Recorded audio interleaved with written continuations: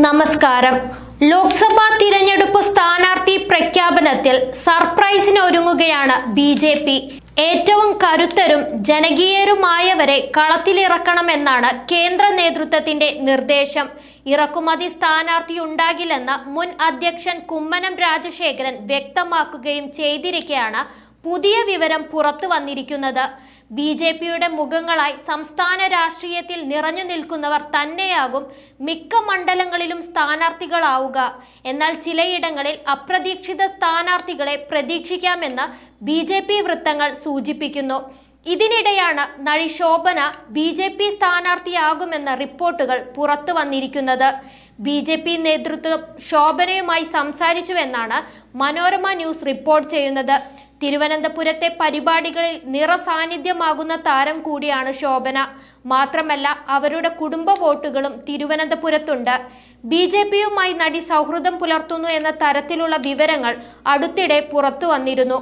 കൊച്ചിയിൽ പ്രധാനമന്ത്രി പങ്കെടുത്ത പരിപാടിക്ക് ശോഭന എത്തിയിരുന്നു.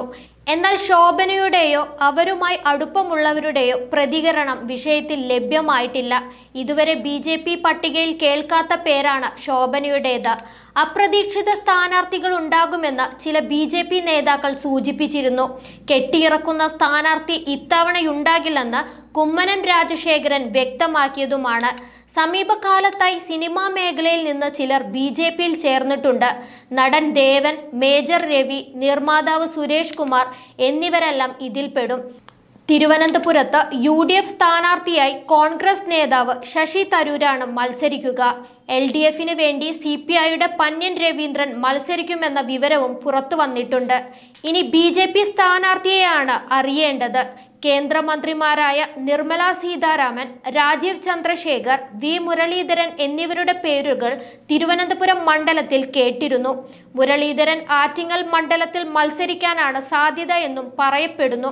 തിരുവനന്തപുരം മണ്ഡലത്തിൽ നടൻ കൃഷ്ണകുമാറിന് താല്പര്യമുണ്ടെന്ന റിപ്പോർട്ടുകൾ വന്നിരുന്നു. ഇതിനിടെയാണ് ശോഭനയുടെ പേര് മാധ്യമങ്ങളിൽ നിറയുന്നത്. സിനിമാ മേഖലയിൽ നിന്ന് മറ്റു ചിലരും ബി ജെ പിയുടെ സ്ഥാനാർത്ഥി പട്ടികയിൽ ഉണ്ടാകുമെന്നാണ് വിവരം. സുരേഷ് ഗോപി തൃശൂരിലും ഉണ്ണിമുകുന്ദൻ പത്തനംതിട്ടയിലും മത്സരിക്കുമെന്നായിരുന്നു മറ്റൊരു വിവരം.